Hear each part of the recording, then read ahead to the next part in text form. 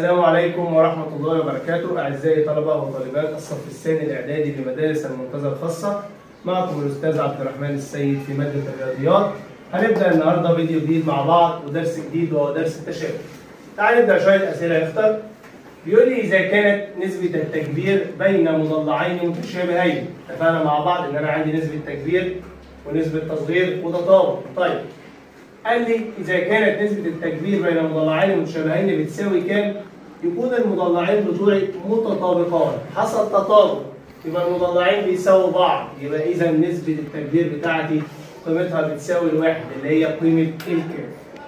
لكن لو كانت باثنين كنا هنقول عليها تكبير، لو كانت بخمسة من عشرة يعني أقل من الواحد كنا هنقول عليها تصغير.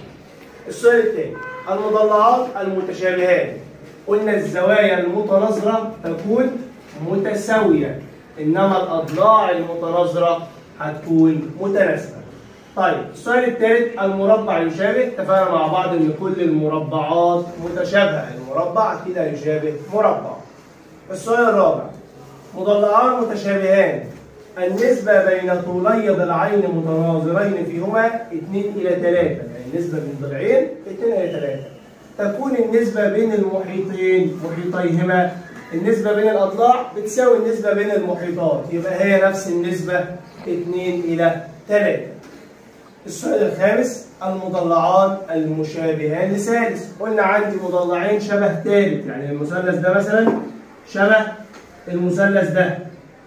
والمثلث ده شبه المثلث ده. يبقى أنا لو شلت المثلث ده هيكون المثلثين دول متشابهان يبقى المضلعان المشابهان لثالث متشابهان طيب نبدأ مع بعض مسائل البرهان بيقول لي في الشكل المقابل قياس زاوية ا ه د تساوي قياس زاوية ب. وألف د ب 3 سم وألف ه ب 4.5 سم وب د ب 6 سم برهن أن المثلث أ ه د يشابه المثلث أ ب. طب اتفقنا عشان نثبت التشابه في المثلثين؟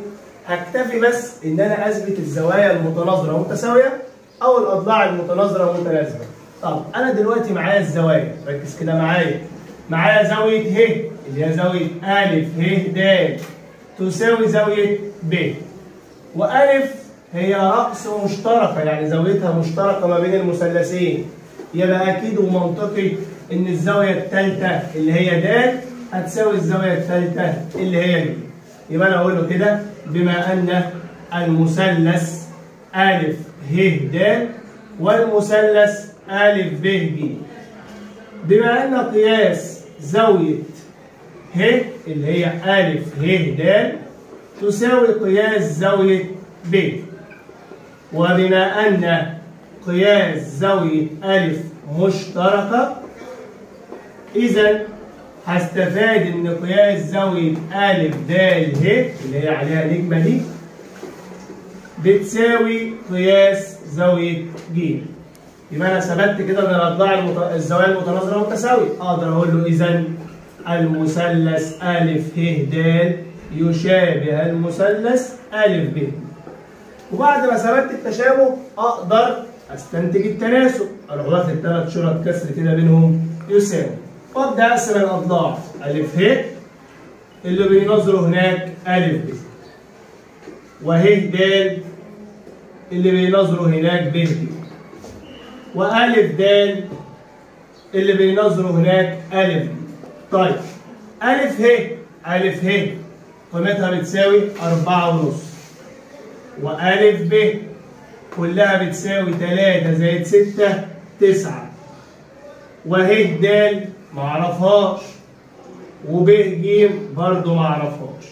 بيساوي ألف د اللي هي قيمتها بتساوي 3 على ألف ج خد بالك بقى من حتة ألف ج دي. أنت ألف ج ما تعرفهاش كلها بس تعرف جزء منها بأربعة ونص. الجزء الثاني الله أعلم بكام هنحط مكانه س يبقى أ ج كلها عبارة عن أربعة ونص زائد س. طيب النسبة دي أنا ما أعرفش فيها حاجة مش هشتغل بيها خالص. طب عايز أعرف بقى قيمة السين يبقى أقول أربعة ونص زائد س تساوي وأعمل مقص 3 في 9 على أربعة ونص يبقى أربعة ونص زائد س تساوي تلاتة في تسعة على أربعة ونص. هتطلع الإجابة معايا. تلاتة في تسعة. سبعة وعشرين. سبعة وعشرين على أربعة ونص. تطلع الإجابة تساوي أربعة ونص زائد س بتساوي سبعة وعشرين على أربعة ونص. أربعة ونص وسبعة وعشرين يدونا ستة. طيب الأربعة ونص موجب هتيجي بره بالسالب يبقى س بتساوي ستة ناقص أربعة ونص تطلع الس بتساوي واحد ونص سنتي. وهو ده المطلوب.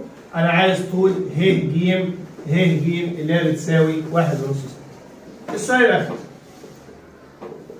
بيقول لي هنا أ ج بيوازي ه د. في توازي يبقى عندي تبادل. أهو حرف زد واضح. يبقى زاوية أ بتساوي زاوية د وزاوية ه بتساوي زاوية ج وزاوية د بتساوي زاوية د بالتقابل بالرأس. يبقى أنا أقول له بما أن أ ج يوازي ه د إذا قياس زاوية أ هتساوي قياس زاوية د بالتبادل وقياس زاوية ج هتساوي قياس زاوية ه برضه بالتبادل وقياس زاوية أ ب ج هتساوي قياس زاوية د ب ه بالتقابل بالرأس.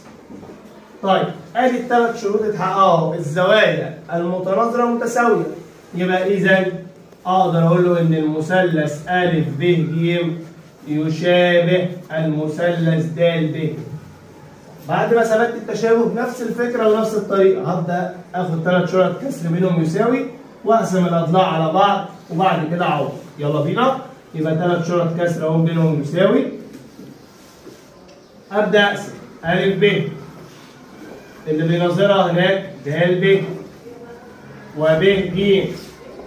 اللي بينظرها هناك ب ه.